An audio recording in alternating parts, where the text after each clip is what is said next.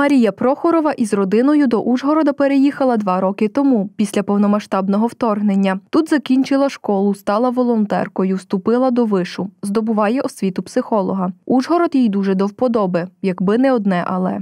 Бачите, який бордюр високий? Ну, тобто я сама не заїду. І навіть от коли я заїхала, все одно некомфортна дорога.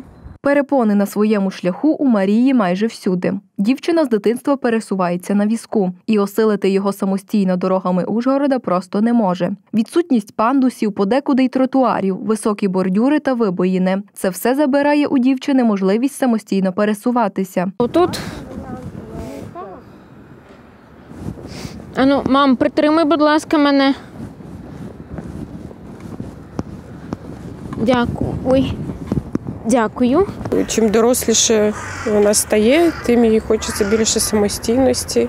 Ну, на жаль, обмежене пересування, тому майже, майже завжди я допомагаю. Але Марія не з тих, хто здається. Дівчина вирішила зробити Ужгород доступним і написала відповідний проєкт. Мені здається, що я, як ніхто розумію, усі складнощі пересування містом, бо, на жаль, на даний момент місто абсолютно недоступне. Перший етап це пандуси. Далі йде питання, навіть там, де є пандус, там е, відсутня комфортна вбиральня, наприклад. Є місця, в яких е, відсутні ліфти. Мами з дітками теж їздять. Це теж дуже велика проблема. Так не має бути. Спочатку у її планах зробити доступним під'їзд до волонтерського простору. Дівчина стала частиною громадської організації Волонтери Закарпаття та досі так і не змогла відвідати хаб організації. Початковим е, кроком, от якраз е, як ми і говорили е, трошки раніше, є встановлення пандуса на Гойди 8 е, у, вол- у волонтерському теж центрі, якраз нашому. Е, Це, був, це буде перший крок. Потім все, я, я сподіваюся, що це буде все розвиватися надалі.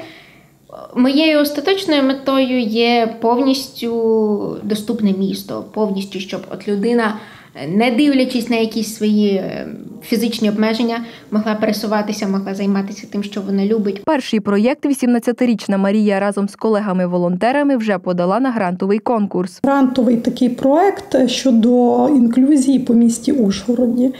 І тому я запропонувала Марії, що є така грантова заявочка. Ми відкрили ветеранський простір, простір для осіб з інвалідністю, де також е, я запрошувала Марію. Марія підтвердила, що пандуси якраз є, не є вірніше доступними. Вона не може піднятися по цих пандусах, що значить, що військовослужбовці, які отримують поранення і будуть е, знаходитися на візку, вони не зможуть піднятися до ветеранського простору. Щиро вірить, що хоч і маленькими кроками зможе зробити Ужгород доступним, а у майбутньому мріє подібні проєкти розробити і для всіх міст України.